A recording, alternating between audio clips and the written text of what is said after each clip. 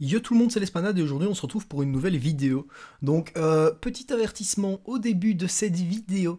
Alors, ceci n'est pas du tout un top champion, d'accord, qui est objectif. Donc, ça va être un top 10 de mes champions préférés à moi. Donc, c'est pas du tout un top 10 des meilleurs champions du jeu, et je ne classe pas les persos dans ce top selon ordre de croissance. Donc, par exemple, le top 9 n'est pas nécessairement moins fort que euh, le top 4 de mon top, ok? Donc, c'est un, top où euh, je vais juste grader l'appréciation des personnages selon moi. Donc, ça va être mes 10 persos que je préfère selon à quel point j'aime les jouer. Et du coup, c'est pas un top 10 des meilleurs champions du jeu, c'en est même loin de là. Et c'est pas non plus gradé par force, c'est gradé par appréciation. Donc voilà. Maintenant que j'ai pu dire ça, on va pouvoir rentrer dedans. On va faire deux mentions honorables rapides. Euh, première mention honorable pour le chat, pour Tigra. Euh, je l'ai sur le petit compte en 5R5, mais euh, bah, malheureusement je l'ai jamais tiré en 6 étoiles sur le gros compte. Donc, bah, vu que j'ai pas vraiment eu l'occasion d'énormément la jouer, bah, je sais vous dire que du peu que je l'ai joué, j'aime beaucoup le personnage, mais euh, bah, on vous verrez que dans cette vidéo, il y aura que des 6R3 et des 6R4, parce que bah, d'office, c'est les persos que je joue, parce que je joue plus nécessairement de 5R5, très honnêtement, euh, ou de 6R2. Et du coup, Tigra, euh, vous voyez, je l'ai qu'en 5R1 sur le gros compte, sachant que je joue plus le petit compte. Donc pour l'avoir joué un peu sur le petit compte, j'ai bien kiffé son gameplay, mais voilà, bah, je l'ai toujours pas en 6 étoiles sur le gros compte. Si jamais je la tire en 6 étoiles, elle rentrerait sûrement dans mon top 10 de champions préférés, mais je ne l'ai pas, donc mention honorable quand même, parce que j'aime bien le perso, que je n'ai pas. Deuxième mention honorable, Corvus Glaives. Alors j'utilise plus du tout Corvus Glaives, mais comme vous voyez, ici je l'ai en 5R5, bah c'était mon tout premier 5R5 Corvus Glaives, et c'était également mon tout premier 4R5 Corvus Glaives. Donc euh, là, Corvus Glaives, je vais le rentrer dans le top parce que vous voyez ici, je l'ai en 6R2 non éveillé. Et je ne compte pas le monter plus haut ni l'éveiller. Euh, parce que bah, c'était euh, mon top 1 champion préféré quand j'ai commencé le jeu. Genre quand j'ai commencé le jeu, Corvus s'est resté pendant au moins 8 mois. 8 mois, 1 an, mon champion préféré. Donc je me voyais clairement mal ne pas le mettre dans le top de mes champions préférés, ou au moins en mention honorable, ce qu'il est. Euh, mais maintenant, bah voilà, je ne le joue plus, mais il faut quand même dire que j'ai débuté le jeu avec Corvus et que j'ai joué pendant très très très longtemps ce perso, et c'est pour ça que je vais le citer. Alors, euh, je vais dire deux trois petits trucs. Donc, comment est-ce que je définis un champion? Si je l'aime, ça va être par l'appréciation, mais mon appréciation, elle va être donnée par quoi? Donc, qu'est-ce que j'aime dans le jeu? Moi, dans le jeu, j'aime bien avoir des euh, spécialités sur mes personnages. Donc, avoir des petits trucs un peu différents qui vont les changer les uns des autres. Donc, les persos très génériques où tu fais tout le temps la même chose. Style euh, bah, Hercule, style Nick Fury, style euh, Diablo Diablo, etc. Enfin, bah, je sais pas si c'est même des bons exemples. Mais les persos qui vont pas avoir nécessairement de super spécificité et qui ont un gameplay très générique. Et le but, c'est juste de faire des combos, des combos, des combos et tout le temps lâcher le même spé. Je suis pas nécessairement énormément fan de ces persos parce qu'après bah, tous les gameplays se ressemblent et je me fais un peu chier quand je joue ceux-là. Deuxième chose, j'aime énormément la résistance sur les persos, donc j'aime bien les persos qui ont une forme de résistance, que ce soit de la résistance pure ou de la résistance plus spécifique. Et euh, voilà, donc on va pouvoir rentrer dans le top, mais je donne ça pour pouvoir argumenter du coup sur mes personnages. Et on va commencer ce top par euh, Knull.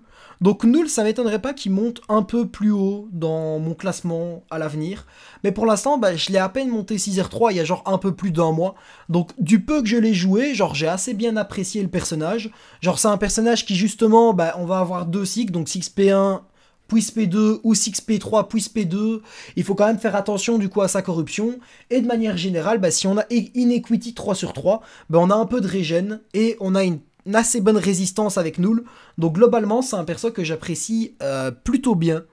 Euh, tout simplement. Donc on va pouvoir passer au top 9. Donc top 9, encore une fois, bah, Nimrod. Euh, ça va être un autre champion qui, bah, lorsqu'on l'a utilisé dans la bonne situation, donc contre un perso qui a des prouesses, des régénérations ou un mutant, bah, globalement ça va être un perso qui est très très très très très tanky. Donc il a quand même une très bonne résistance avec ses grosses armures qui gagnent. Et également bah, son petit gameplay qui est un peu spécifique, donc il faut essayer de passer le plus souvent possible dans sa forme orange, donc essayer d'optimiser pour rester dans sa forme orange. Puis après les cycles, on peut choisir soit SP2, soit SP1, puis SP2. Bah, il y a quand même un peu des particularités dans le gameplay de Nimrod, bien que ce soit pas énorme, ça reste quand même assez basique. Donc c'est pour ça qu'il va être place 9, mais lui, bah, je sais qu'il est place 9 et qu'il est bien là, et que si j'en refais un dans un an, il sera sûrement toujours place 9, ou place 10, ou place 11. C'est globalement un perso, j'aime bien le jouer, mais voilà, c'est pas du tout mon perso préféré, mais ça reste un perso qui a bah, un gameplay que, qui que j'aime bien, qui a des attributs que j'aime bien, donc c'est pour ça qu'on va le retrouver place 9. Euh, Omega Red, du coup, qui va être place 8. Euh, pourquoi est-ce qu'Omega Red est place 8 alors que je l'utilise tout le temps, étant donné que j'utilise tout le temps Colossus et que bah, il est obligatoire en synergie avec Colossus? Euh, en fait, le truc, c'est que j'aime beaucoup le gameplay d'Omega Red qui est très très slow. Donc, le gameplay où on monte juste l'ennemi à 10, à, à 10 sports. Et puis après, on refrait juste les dégénérescences. Et puis, on attend. Ce gameplay-là, je le maîtrise plutôt bien. Bah, j'ai déjà OS euh, Chose, Mister Sinister et quelques autres combats en abyss, hein, même, avec ce gameplay-là. Mais alors, pas nécessairement, il y en a certains, c'était pas OS, mais c'était genre en deux passages, quoi. Donc, des très bons scores. Mais par contre, bah, le gameplay en suicide avec en GA, bah, j'ai essayé plusieurs fois et à chaque fois je fais des crash tests complets. Genre, j'aime pas trop ce gameplay là. Donc, bah, vu que le gameplay lent d'Omega Red on l'utilise pas nécessairement hyper souvent et qu'aussi, bah, Omega Red c'est un perso un peu euh, snowball donc il a pas de résistance particulière, bah, j'aime bien le perso qui est un peu spécifique. Mais voilà, je trouve qu'un top 10 c'est bien mérité parce que je me vois pas le mettre plus haut, mais je le mettrai pas plus bas non plus parce que c'est quand même un perso que j'apprécie, mais pas euh, tant que ça non plus, quoi. Donc j'ai des affinités avec, mais c'est pas du tout mon perso préféré. Alors ensuite, bah, on va passer sur le top 7. On va trouver, bah, du coup, Immortal Abomination. Donc euh, j'ai commencé à le jouer assez récemment aussi, lui, mais quand même, plus quand même euh, depuis plus longtemps que Knull. Donc j'ai commencé à beaucoup le jouer sur la borne Défiance, euh, je l'ai joué sur le Grandmaster Gauntlet, et j'ai joué en Battleground. Et honnêtement, bah, c'est un perso qui du coup est très très résistant, mais comme je vous ai dit, j'aime beaucoup la résistance ou les formes de résistance donc on va beaucoup en retrouver dans mon classement, tout simplement. Parce que j'aime beaucoup la sécurité dans le jeu. Et euh, bah, qui va quand même avoir un gameplay un peu particulier, étant donné que... En fait, c'est pas le gameplay qui va être particulier, mais c'est un peu une sorte de rythme avec Immortal Abomination. Donc ça va être, entre guillemets, une course contre la montre pour tout le temps avoir des poids... pour mettre son SP2, avoir son effet et tout le temps avoir des poisons sur soi. Donc c'est quand même un rythme qui change un peu des champions de base. Et puis euh, bah, il est très résistant et euh, j'aime beaucoup aussi le fait que Ibom, bah, les spés de l'adversaire la plupart du temps on va vouloir les prendre en garde. Donc le fait qu'il mette des, faiblesses en garde, ça aussi j'aime beaucoup. Donc voilà, c'est pour ça qu'on va retrouver Ibom bah, top 7 de mon classement, parce que bah, c'est un perso qui globalement, j'aime encore assez bien son gameplay, qui a une belle forme de résistance. Donc un top 7 totalement mérité. Donc là, on va passer sur des persos pas résistants du tout. Et le top 5, ce sera la même chose. Donc Docteur Octopus. Euh, top 6 dans mon classement, je trouve que Docteur Octopus est vraiment un champion génial. Après, je l'utilise pas nécessairement souvent, mais la plupart du temps, quand je l'utilise, eh bien, euh, je kiffe ma vie avec. Donc déjà, bah, avec, euh, il a une polyvalence de dingue, mais c'est surtout son gameplay, il est un peu plus spécial. Il est un peu compliqué à prendre en main, donc le temps de comprendre comment le perso fonctionne et comment est-ce qu'on doit jouer le personnage. Mais une fois qu'on a compris comment jouer le personnage, bah, elle est pas nécessairement dure à jouer, vous voyez. Contrairement à par exemple Missulk, où c'est très facile de comprendre ce qu'il faut faire. À des furies, et il faut que l'adversaire lance un spé avant qu'elle euh, qu'elle parte. Donc comprendre ce qu'il faut faire, c'est pas compliqué. Et par contre, pour le mettre en œuvre, c'est beaucoup plus compliqué, quoi. Ah là, typiquement, Dr. Octopus, je dirais pas que c'est un champion facile à jouer non plus, mais c'est pas nécessairement bien complexe à jouer. Et euh, c'est juste le temps de comprendre, mais une fois qu'on a compris comment jouer Dr. Octopus, c'est un pur kiff, surtout qu'il a deux gameplays différents, donc entre le gameplay où on met l'ennemi contre le mur et qu'on le bolos, très clairement, contre le mur en mettant 8 heavy d'affilée, ah ça, ça fait un, kiff de dingue, honnêtement, quand vous voyez l'ennemi contre le mur et que tu balances 8 heavy, honnêtement, on se met bien, on s'amuse. Et euh, bah, la même chose quand on fait le cycle SP3, bah, c'est littéralement magique, hein. Euh, c'est juste plus compliqué d'arriver en SP3 avec Dr Octopus que d'arriver en SP2 avec Magic. Mais une fois que t'es en SP3 avec Dr Octopus, le Power Lock, euh, t'as genre 35 secondes de, Power Lock sur l'adversaire, qui vole du pouvoir à l'adversaire, et faut juste lancer un SP1 pour le refresh. Donc voilà, bah, Dr Octopus, champion très sous-coté, pourtant il est très très fort, et en plus, bah, son gameplay, il est, bah, comme dit, compliqué à comprendre, mais une fois compris, bah, c'est un gameplay qui est hyper agréable. Et c'est pour ça qu'on va le retrouver top 6. Euh, et le top 5, ça va être euh, la blonde, ça va être Cap MCU, donc notre petite blonde euh, cosmique. J'adore Cap MCU, ok. C'est pour ça qu'elle va se retrouver en top 5. Encore une fois, elle a pas nécessairement de tankiness. Mais en fait, typiquement, c'est un champion que je trouve qui est énormément sous-coté dans le jeu. Donc, bah, Cap MCU, c'est pas compliqué. On va avoir un combat, il faut la charger. T'as un combat, ton combat, il va être lent. Faut la monter à 25 charges. C'est quand même pas nécessairement. Allez, tu fais plus 2 par parade, plus 10 par SP3, plus 3 par SP1. ça prend quand même un peu de temps à charger. Mais une fois que Cap MCU est chargé, il y a certains gameplays, tu les bourrines comme un débile. En Alien War, en Aliens Quest, donc en QA, en GA et en incursion, le premier combat, tu charges MCU, il peut être un tout petit peu long, bien qu'il va pas durer une éternité. Mais une fois que tu es chargé, tu rentres dans le combat, et tes combats, ils durent 10 secondes, puis tu sors du combat. C'est complètement abusé, je kiffe trop euh, ce mécanisme, et euh, je trouve qu'elle est vraiment sous-côté de fou. Après, je comprends qu'il y ait des personnes qui aiment pas nécessairement, mais voilà, moi j'adore Cap MCU, honnêtement, c'est mon cosmique préféré de très très loin. Ça risque de le rester pendant très longtemps. Euh, je la mettrai R4 à l'occasion, mais vu que j'ai déjà Colossus et Mister F qui sont R4 et qui puent tous les deux la merde en Battleground, je me vois mal rajouter MCU R4 en plus qui pue la merde en Battleground, sachant que je suis un joueur compétitif en Battleground. Donc aux deux dernières bêtas, j'ai fait top 100. Mais l'occasion, elle est dans mes priorités d'R4, honnêtement. À la vie, je vais peut-être monter 2-3 R4 qui sont bien en Battleground, puis ce sera pour le tour d'MCU. Donc probablement mon 6 ou 7 R4, sachant que j'en ai 3 pour l'instant, donc Colo, MF et Nick Fury. Et euh, bah, un autre truc que j'aime bien dans MCU, c'est un peu son charge management. Donc euh, c'est pas nécessairement un gameplay full bourrin. Genre après avoir lancé ton SP2, de toute façon l'ennemi il est, il est stunt et il est au port de la mort. Et genre tu vas pas être là directement le bourrinet, genre faut essayer de penser un peu mind trick tes heavy. Parce que bah, chaque heavy te rend 3 charges et du coup essayer de te dire tiens comment je fais pour pas perdre trop de charges. J'ai rien un minimum d'intelligence à mettre dans le gameplay d'MCU et j'aime bien ça aussi. Donc c'est pour ça qu'elle va se retrouver top 5. Je trouve que c'est une place totalement méritée dans mon classement. Après, on va voir Profix pour le top 4. Profix, honnêtement, je trouve que c'est le champion le plus agréable à jouer du jeu. Genre, c'est tellement fluide le gameplay de Profix je me voyais mal le mettre autre part que top 4. Il est top 4 parce que ben, le top 3, c'est des persos que j'utilise beaucoup plus souvent que Profix. Genre, Profix, c'est un perso que j'utilise pas nécessairement énormément. Mais les gameplays que je fais avec Profix, à chaque fois, c'est un pur kiff. Sachant que euh, Profix, c'est pas mal du tout en QA si on sait le jouer.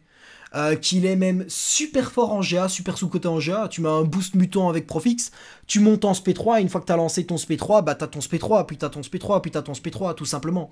Avec euh, au max, évidemment. Genre, je rêverais de l'éveiller, d'ailleurs. À mon avis, si je l'éveillais, euh, je l'utiliserais plus souvent.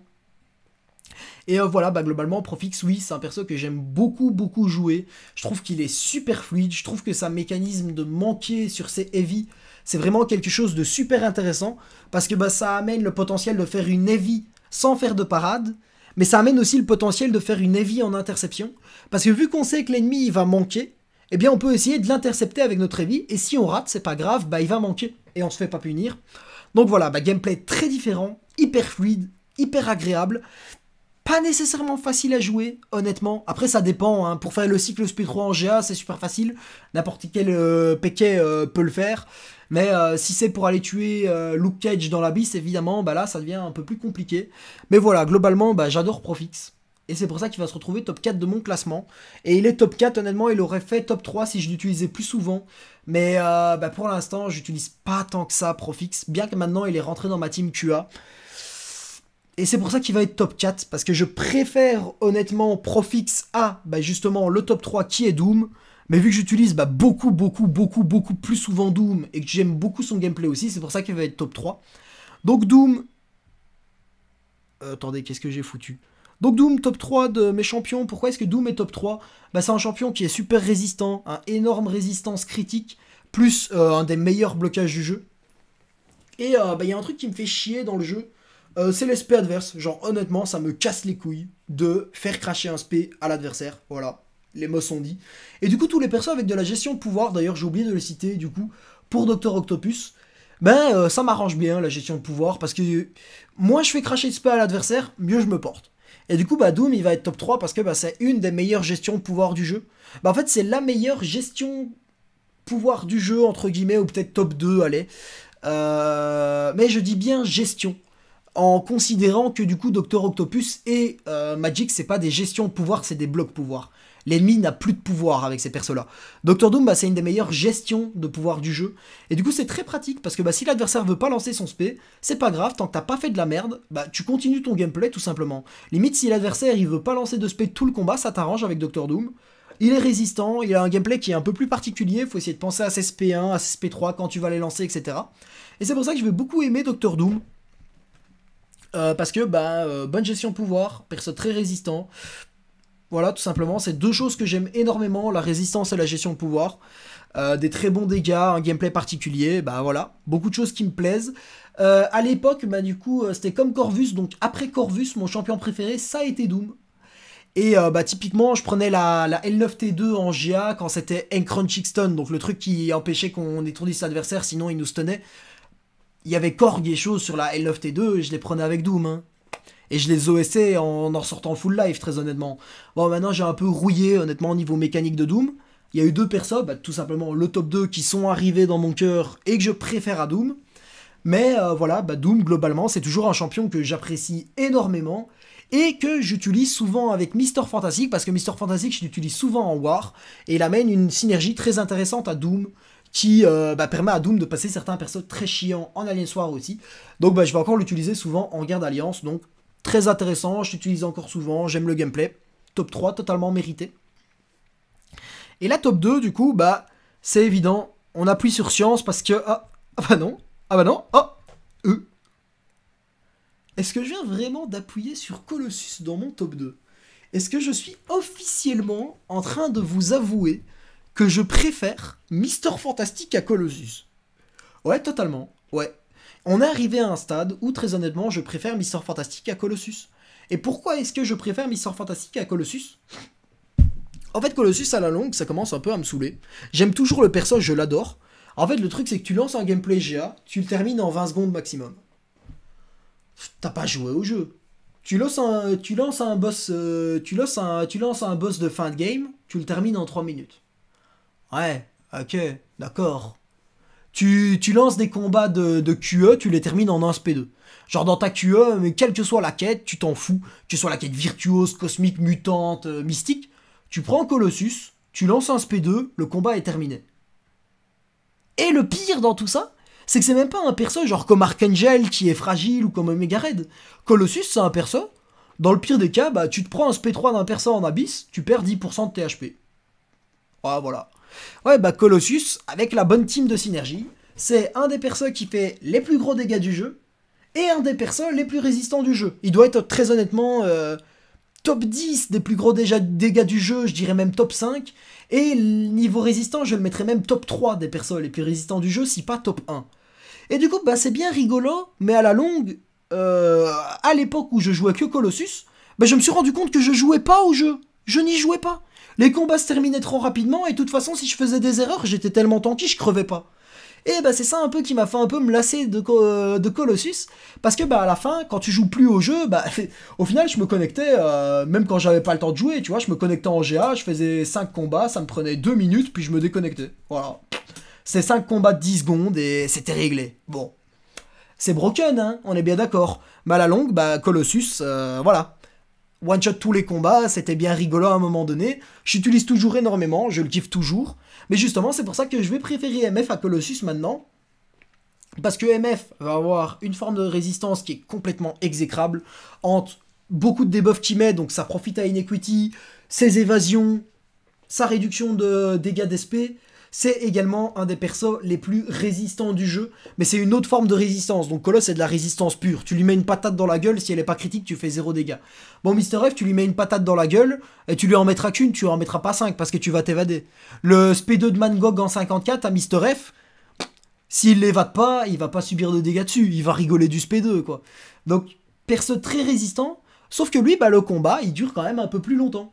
Et Colossus, ben voilà. Comme je vous avais dit, j'aime pas vraiment les persos euh, où c'est juste bourriné comme un débile, bah Colossus c'est bourriné comme un débile, hein. il n'y a pas de stratégie. Tandis que Mister Fantastic, il y a quand même de la stratégie à avoir dedans, parce que c'est un perso pari heavy, mais qui est pas pari heavy. Donc en fait, il faut regarder le timer de tes debuffs, pour mettre les vies pour les refresh, et le reste du temps, tu joues en normal. Puis après, bah, il faut SP2, SP2, puis après, il faut choisir entre SP1 ou SP3, etc. Enfin, il y a quand même le gameplay de Mister Fantastic, bah, c'est un champion qui a une bonne gestion de pouvoir, si pas une des meilleures aussi. Parce que vous allez me dire, mais il draine pas le pouvoir, Mister Fantastic. Ouais, mais à partir du moment où tu as lancé 2 SP2, tu vas réduire le pouvoir défensif de l'adversaire de 75% et tu vas euh, réduire son gain de pouvoir passif de 120%. Donc, si tu gagnes moins de pouvoir, c'est une gestion de pouvoir, entre guillemets, tout simplement. Surtout quand le gain de pouvoir diminué, c'est plus de pouvoir passif, tu l'inverses, et c'est 75% de défensif en moins. Tu lances 4 fois moins de SP. Très résistant. Et aussi, bah, il a un petit. Genre, je trouve que le gameplay de Mister F est fluide, qui change, genre. Allez, c'est pas comme Professeur X ou comme Docteur Octopus où tes gameplays vont être H24 différents, mais c'est pas des gameplays qui se ressemblent tous, quoi. Avec Mister Fantastic, c'est quand même des gameplays qui sont un peu différents les uns des autres. Et euh, bah voilà, globalement, c'est un perso qui va englober beaucoup de choses que j'aime beaucoup. Et c'est pour ça que maintenant, il est passé top 1 mes champions préférés. Parce que, bah, à la différence de Colossus, c'est qu'avec Mister F, on joue au jeu. Parce qu'on ne termine pas le combat en 20 secondes. Euh, on va quand même pas terminer, genre c'est pas c'est pas Groot. Hein. Les combats en GA, la plupart du temps en une minute maximum, euh, les combats de ligne ils sont pliés et les combats de carré, euh, carré des boss en deux minutes c'est plié. Donc c'est pas des combats qui sont lents non plus, hein. mais c'est des combats où on va quand même jouer, jouer le jeu. Il y a de la gestion de pouvoir et j'aime beaucoup la gestion de pouvoir. C'est un des persos les plus résistants du jeu. Enfin, plutôt avec une marge de sécurité, parce que. F est pas nécessairement résistant, il a une énorme marge de sécurité. Donc, bah, c'est un des persos Ouais, bah justement, en fait, je vais réitérer. Mister F, en termes de résistance, c'est pas nécessairement énormément résistance, il a une résistance correcte, mais c'est le perso avec la plus grosse marge de sécurité du jeu. Genre, euh, c'est très compliqué de punir les erreurs de Mister F. Et ça, je vais beaucoup aimer, parce que moi, je suis un, je suis un type, je suis complètement instable. Des erreurs, de temps en temps, euh, j'en fais zéro, ou j'en fais 10. Genre, il n'y a pas de moment où je vais de temps en temps faire une erreur. Genre, d'office, soit c'est 10, soit c'est 0. Et bah avec Mister F, tu fais 10 erreurs, t'es toujours en vie. C'est un peu comme Colossus, un peu comme Doom, un peu comme Profix. Et du coup, j'aime beaucoup ça quand même, avoir de la marge d'erreur. Ça me permet d'être plus safe, plus serein dans mon gameplay. Et euh, bah, c'est pour ça que bah, Mister F a, entre guillemets, détrôné Colossus. Après, très honnêtement, mon top 2 de perso préférés, ces deux-là, ça m'étonnerait qu'ils bougent d'un moment donné ou à l'autre. C'est vraiment genre Mister F et Colossus, c'est mes deux champions préférés. Très très très très très loin devant Doom. Mais pour les départager, je les kiffe tous les deux, je les adore tous les deux, mais je préfère quand même Mister F à Doom. Donc voilà, euh, bah, je vois quand même que ça a pris 22 minutes, j'ai bien parloté. J'aurais bien espéré que la vidéo dure 15 minutes maximum, mais bon, c'est comme ça, c'est la vie.